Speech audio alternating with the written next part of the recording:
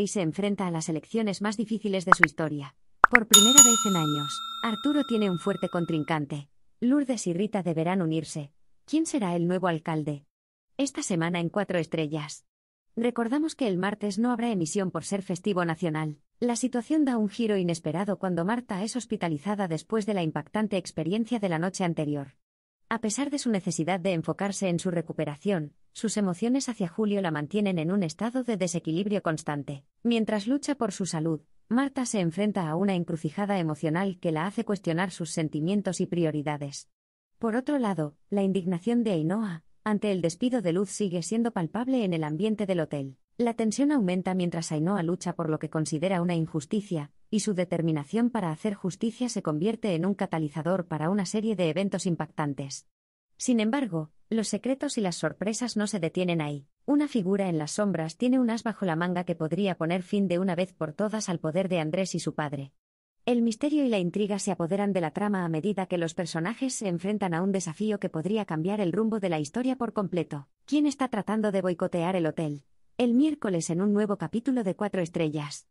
El hotel se enfrenta a un desafío inesperado cuando un misterioso enmascarado decide emprender un boicot contra el establecimiento, liberando una plaga de cucarachas que causa caos y consternación entre los huéspedes y el personal. La atmósfera se carga de tensión mientras todos se preguntan quién podría estar detrás de este sorprendente acto de sabotaje. Andrés, inmediatamente sospechando que uno de los trabajadores podría estar involucrado, se embarca en una misión para descubrir la verdadera identidad del enmascarado. La incertidumbre y las teorías se multiplican a medida que los empleados se miran entre sí con sospecha, mientras Andrés lucha por mantener el orden y desentrañar el misterio que amenaza la reputación del hotel. Por otro lado, la situación personal de Rita se vuelve aún más complicada cuando descubre que su audio incriminatorio está en posesión de Arturo. Los hilos de la intriga se tensan mientras Rita lucha por mantener su secreto a salvo, pero su incierto destino queda en manos de Arturo, y de las decisiones que tome con respecto a esta valiosa información. Llega el día de las elecciones.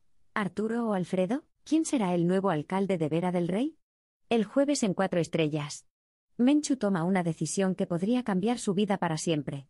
Decidida a preservar sus opciones de fertilidad, se embarca en la búsqueda de una clínica especializada para congelar sus óvulos.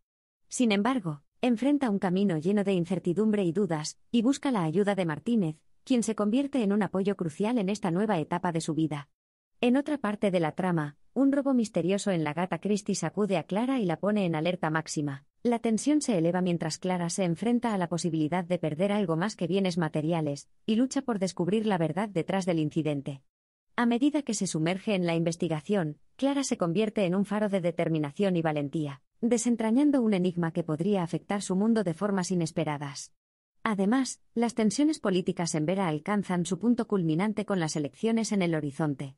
Lourdes y Rita, en medio de sus diferencias y rivalidades, se ven obligadas a forjar una alianza en un momento crucial.